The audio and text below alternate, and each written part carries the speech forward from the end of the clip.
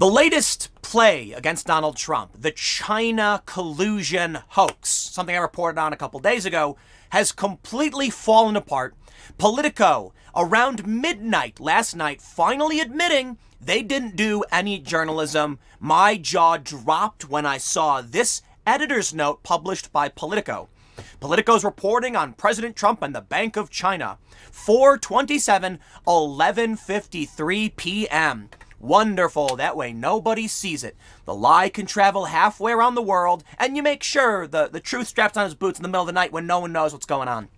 The story being pushed by many anti Trump personalities and Democrats was that Donald Trump owed China tens of millions of dollars, therefore, he was going soft on them or working at their behest. Once again, completely fake news. Not only did Politico have to correct the story when they got a statement from the Bank of China, they had to correct it a second time and issue this statement.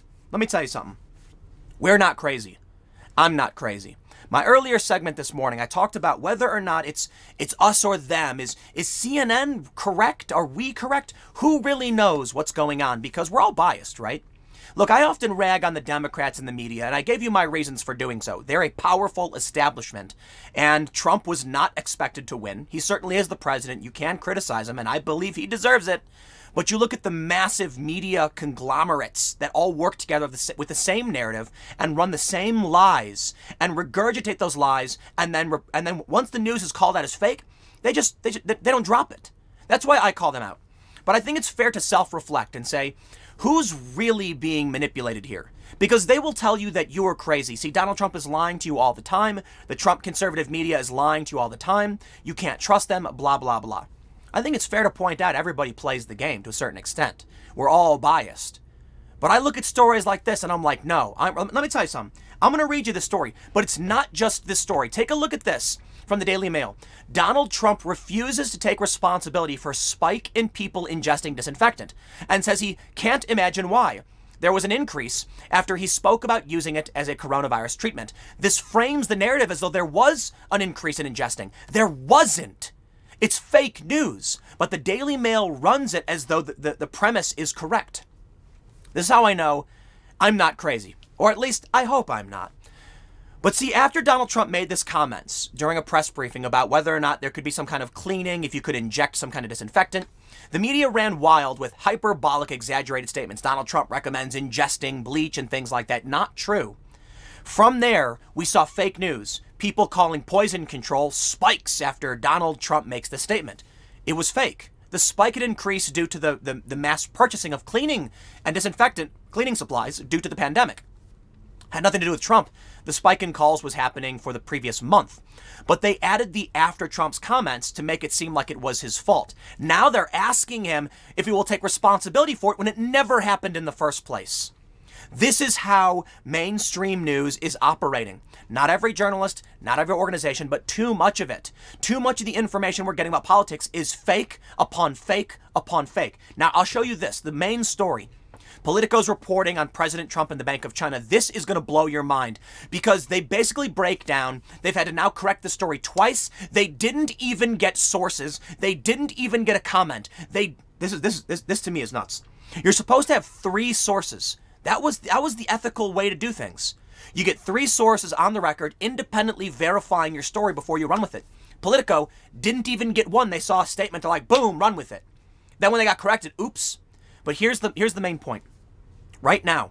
Joe Biden, the Democratic establishment, and people in media who are apparently supporting and defending Biden are using this story about Trump owing China money as a pretext for a grand scheme, a hoax that Donald Trump is working or colluding with China. There is a huge thread. I, the, the, story I did on uh, I did on it showed a tweet, 20 around 20,000 retweets, saying, "Please retweet this. Look at all the thing Trump owes China." They're actually trying to make it seem like Trump and China are working together. Check this out. Politico notes on, the, on last night at midnight.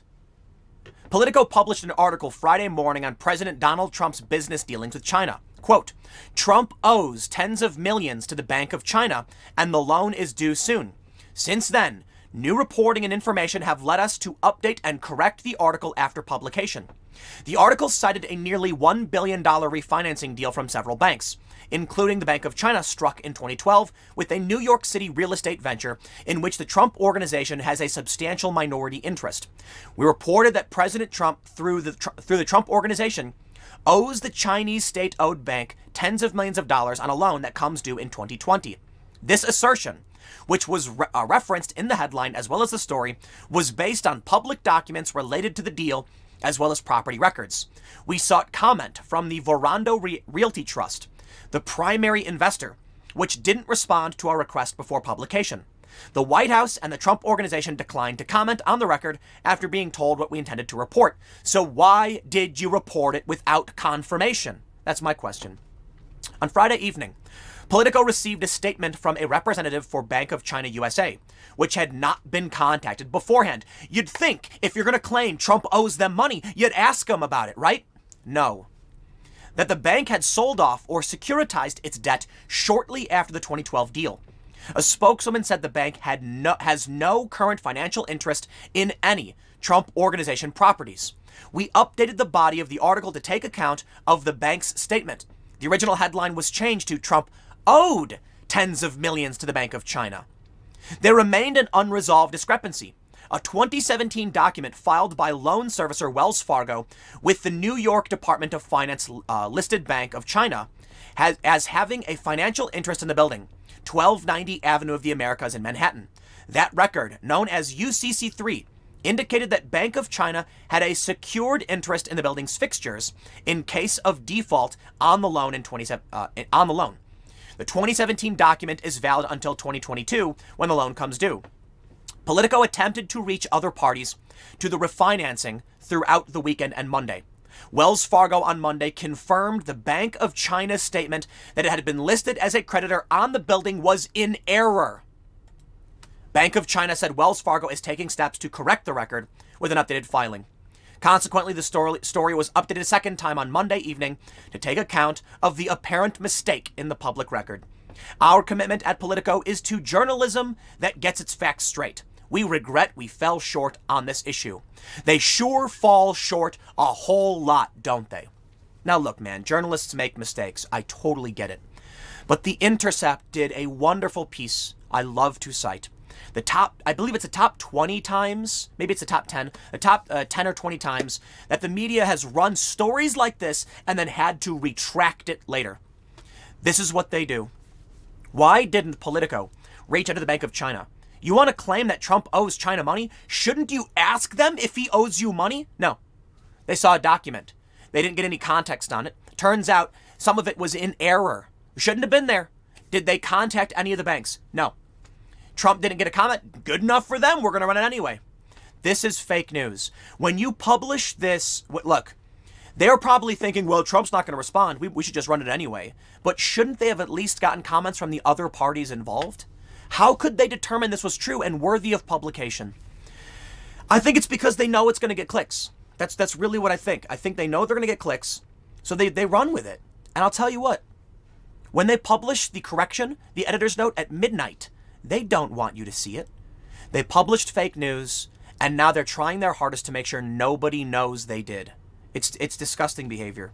Why couldn't they come out? You know, I, I often like the other uh, last week, several days ago, I did a 10 a.m. segment, and then when I saw that my take was probably bad, like not perfect, I did a new segment for my 1 p.m. slot. Like, I have no problem with slapping a big old correction on the video, putting a link to someone's criticisms. You want to say I'm wrong? I will be like, dude, absolutely, please. Hear, you know, contradictory opinion. Maybe I don't got this one right. Why is it so hard for them to do it to admit they did wrong? That brings me to the next story, the one I mentioned earlier. Trump refuses to take responsibility for something that never happened. You know what, man? people, you know, uh, I, I, just went on the Joe Rogan podcast. And I can see that overwhelmingly it's getting a positive reaction. Uh, whatever, you know, that's cool. I'm glad that people really like it. Some of you probably just finished watching it or are watching it now. Maybe, maybe you switched over to this. I have no idea. But I do look at a lot of comments because I try to make sure that I'm doing my best, and I, I, try to take a look at the criticism to see if maybe there's something worthy of criticizing, and maybe maybe I'm not perfect, right? And I think it's fair to point out that a lot of people don't like me. Absolutely don't. They call me a grifter and a liar and stuff like that. The strangest thing to me is that I try my hardest to point out we all play the same game. That's what I say. We all play the same game. What does that mean? It means, look, dude, I use clickbaity titles the same as anybody else. It's literally the function of how YouTube's wor- works. There is no perfect system in which you can be a perfect person. Someone will always be critical. There are certain things that work on YouTube and don't. And I'm not saying it's a good thing. I'm not saying I should be proud of it. No, I'm saying absolutely criticize me for doing it the same as you would anybody else. I am worthy of criticism. The president is worthy of criticism. I am not perfect and I am wrong all the time. Apparently, saying that isn't enough for people. And I think that is what the, these news outlets have realized. You know, when I go on Reddit and I see people talking about me and they say things like, this dude's lying, he's full of it, he's just a grifter throwing red meat to Republicans to make money, I'm like, you know what, man? I, I, I, I get it. Like, that's how you see me and there's nothing I can do about it and I can try as hard as I can. And I'll never give that up. But you look at an outlet like Politico, you look at the New York Times, you look at CNN, and you know they thought? You know what? We're never going to win. Let's stop trying. That's that's what's happening now. People refuse to acknowledge people make mistakes, and so then you see CNN become rage bait reality TV. I think CNN and these other outlets realized why bother trying to win over people who hate you? If we're going to look, if they, they seem to think that if they report negatively on Trump, they will never win over a Trump supporter. That's not true. You can report negatively on him all the time so long as you're honest in what your criticism is. But they don't get that. Ultimately, I think they realize there's money to be made. Take a, going back to the Politico story, and they're and they're, and they're you know they're choosing to put it up at midnight. They don't want anyone to know they're putting up fake news because they make money on that fake news, and they don't have to give that money back, and they don't want people to to call them out. They don't want the criticism. That to me is insane. I think you do you do well to take criticism. Take a look at this. Dr. Birx, in response to the disinfectant and light comments, now from Politico, she said, It bothers me that this is still in the news cycle. The White House coronavirus response coordinator says the discussion is a distraction, and she's right. You know what I can't stand about all of this, man? I go on Reddit, and what do I see? There are these viral videos showing people making faces behind Trump. And it's like you're just looking for something to pretend like people agree with you. That's what it is. I'll tell you what, man. My opinions are, are my opinions. You can tell I get excited and uh, agitated with the stories I talk about. That explains exactly why I talk about them. I'm not going like, ooh, here's a juicy story that will get me clicks. I never do that. Sometimes I put up stories that get almost no traffic. Sometimes I get criticized for being too fear mongering because I, I, I'm concerned about the prospects of war. People think that I and some others like me literally just do this for the same reason the media does, and that's not entirely that's not entirely fair. There are certain certain things that we all do that we should be criticized for, 100%. Let's let's let's see how, how the Daily uh, the Daily Mail frames this. Donald Trump has said he won't take responsibility for an increase in people ingesting disinfectant after he dubbed it a possible coronavirus treatment at a recent briefing. He didn't. It just never happened. Now hold hold on before you leave saying, Tim, you're lying, I heard him say it. No, you heard him say injection, not ingestion. Trump can be criticized for talking about, in the context of bleach and alcohol, some kind of injection or cleaning, for sure. Some people have brought up there are some kind of internal disinfectants with UV light and H2O2 as well as ozone therapy. That's fine too. Trump never said ingest. He never said drink anything. But we see the intercept, which surprised me, saying Trump suggests tanning and ingesting bleach. No, no, he didn't. Please. He didn't say ingest. He asked the medical experts if these were possible. You can say it was a stupid question. I got no problem with that. But he never dubbed it a possible uh, uh treatment. Not only that, nobody ingested this. There was no increase. I mean, maybe somebody does we don't know about. But there was no increase. It was fake news. They took something that had already happened. Not only that, they claimed that there was an increase in people ingesting cleaner, but there were no hospitalizations. It was just people making phone calls concerned they may have done so. People have been buying cleaner because of the pandemic, so naturally you'll see an increase in these calls. It's fake news stacked upon fake news. Now you're going to see people later on saying Trump wouldn't take responsibility for telling people to drink bleach. It never, never happened. Why would he? And this is the world we live in. It's the world we deserve, I guess, until we can solve for this problem. But maybe we can't. Maybe humans just want to exploit and berate and make cold hard cash by manipulation. They know that influence is the key. People are, are uh, unethical, I guess. There's a lot of bad people. See, this is why I'm not a laissez faire capitalist.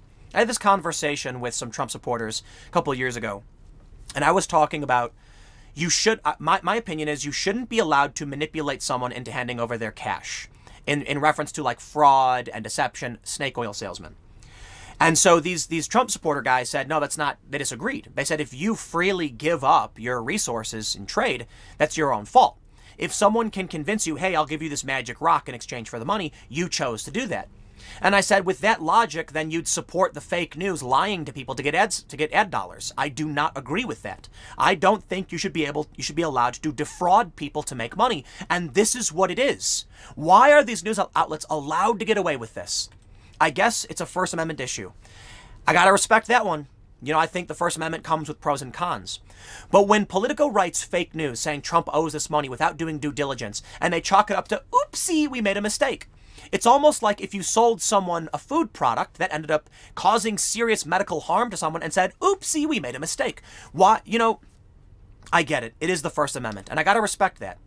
But I guess it's it's inter- interesting to see that when it comes to issuing medicines or food or something that's necessary to the to the to your life, you've got to have things approved and regulated, and we can't do that for information. I understand it, we can't, and that means we will face this exploitation, fraud. I, I consider it very similar to fraud.